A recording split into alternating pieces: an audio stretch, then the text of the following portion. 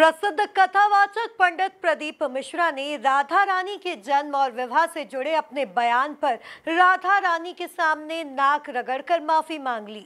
वे शनिवार बरसाना पहुँचे, राधा रानी मंदिर में दंडवत प्रणाम किया और अपने बयान पर माफ़ी मांगी।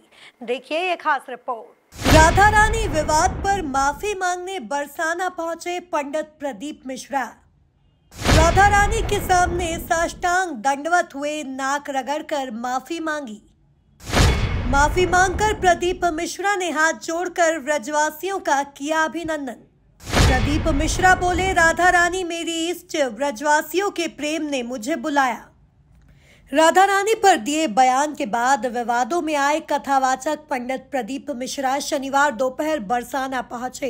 यहाँ उन्होंने राधा रानी को दंडवत प्रणाम किया और नाक रगड़कर माफ़ी मांगी।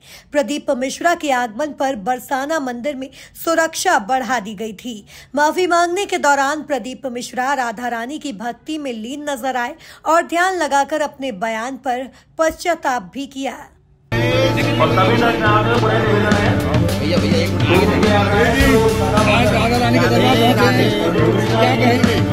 सभी निवासियों को बहुत बहुत बधाई राधा रानी का दर्शन करने के बना रहे निवासियों का प्रेम है? तो और उनके प्रेम के बस आना और मंदिर राधा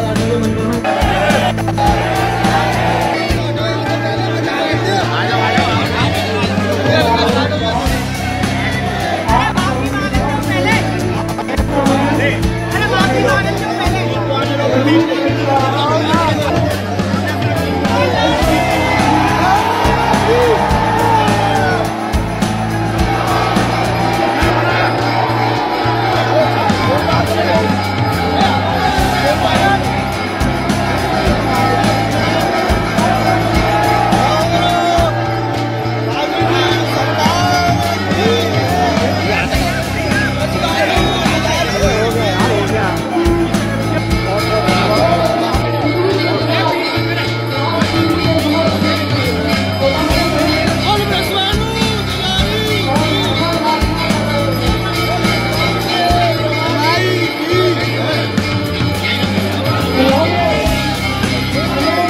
इसके बाद मंदिर से बाहर निकले, हाथ जोड़कर ब्रजवासियों का अभिनंदन किया।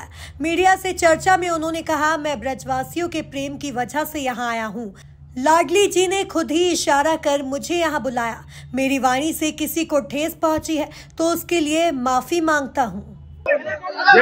हमारी माता राधा रानी के चरणों में आज यहाँ पर आना हुआ और लाडली जी ने खुद इशारा कर कर बुलाया तो तुरंत यहाँ आना हुआ और रानी के और प्रवासियों के बीच आना हुआ मेरी वाणी से मेरे शब्दों से जो भी चोट लगी हो उसके लिए मैं क्षमा चाहता हूँ मेरी महारानी जी से मेरी राधा रानी जी से किशोरी जी से लालू जी से क्षमा चाहता हूँ और बता दें कि पंडित प्रदीप मिश्रा ने 9 जून को ओमकारेश्वर में विवादित बयान दिया था।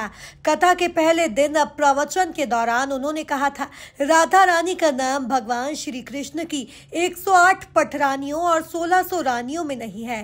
राधा के पति का नाम अनय घोष है। राधा जी बरसाना की नहीं, रावल की रहने वाली थी। बरसाना में तो राधा जी के पिता की कचहरी थी, जहाँ वह साल भर में एक बार आती थी। यह बयान वायरल हुआ तो रसिक संत प्रेमानंद महाराज ने कड़ी चेतावनी दे डाली। इसके बाद देश भर के संतों ने विरोध जताना शुरू कर दिया। बढ़ते विरोध को देखते हुए आखिरकार पंडित प्रदीप मिश्रा बरसाना पहुँचे और नाक रगड़ कर माफ़ी मांगी। Bureau report, MP news, Bhopal.